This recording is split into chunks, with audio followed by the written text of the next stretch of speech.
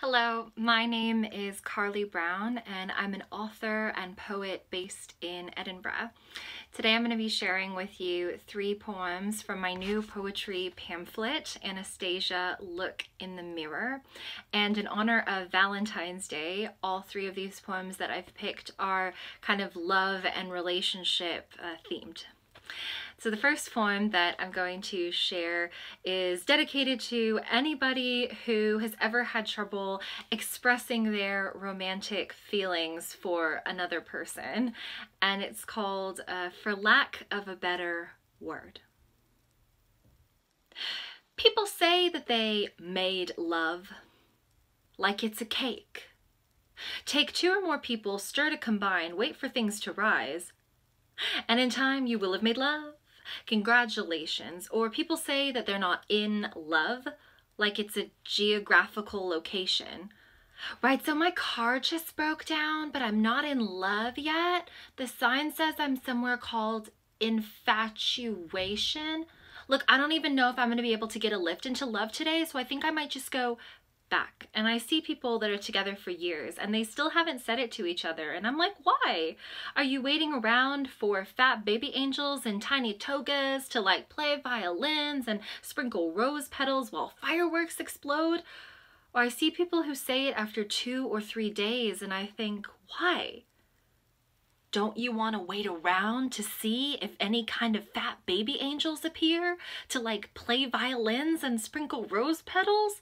I don't know what love signifies in romantic contexts anymore, but I am terrified because according to popular lore, it is precious, like fancy jewelry.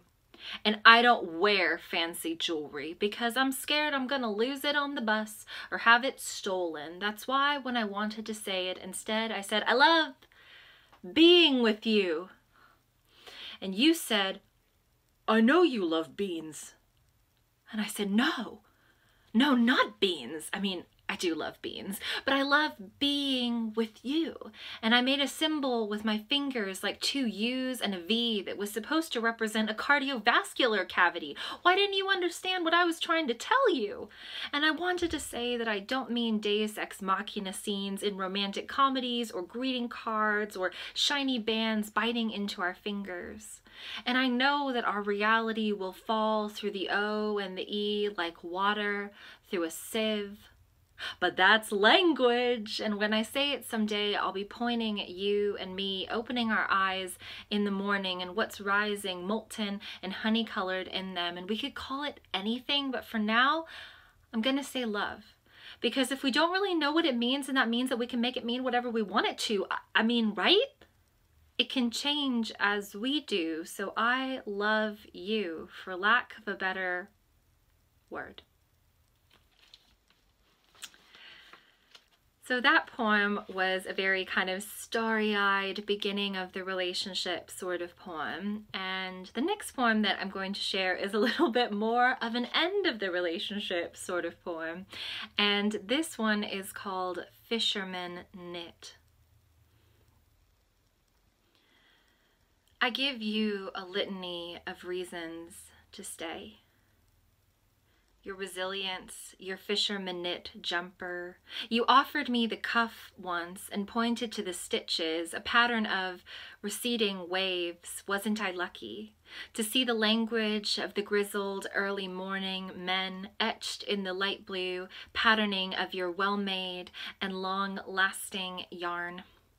Tonight, like a medieval poet who never touched his beloved, I give a catalogue of traits how you add too much milk to porridge, how you tuck in your shirts, how you wake up early to go down to the sea when the tide comes in as if somehow you caused it to happen.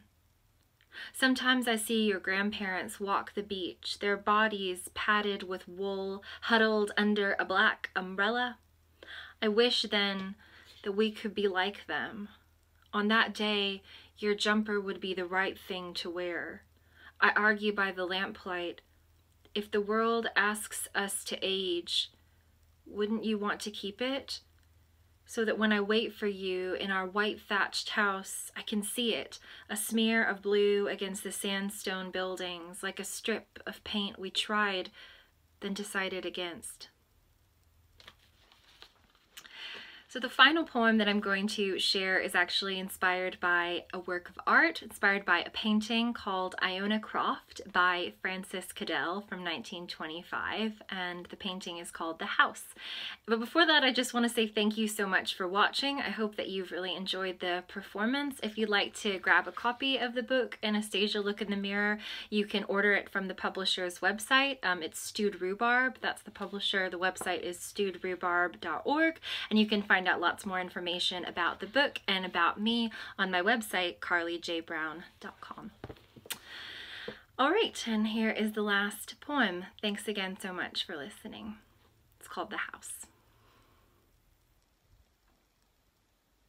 Somehow the sun melted onto the roof cracked open like an egg, and all its juices ran down the sides of the White House on Iona, dripping and sliding in avalanches of color. All the roofs were blue but this one, with its melody of falling reds, seeping browns, and blurring tans. See me by the pink waterfall haystack, my legs pressed against the grass and wondering who decided to unstop the bottle and pour it onto that little white house. And if inside the colors fall on all the furniture, the roof leaking red and yellow, splattering the floorboards with strange brightness like eyes adjusting to light, making chairs sing orange and pink high notes. I fall asleep and dream of who lives there Maybe their lives are fresh as new paint, cold and wet and slippery to touch in that little white house where nothing ever settles and nothing ever hardens.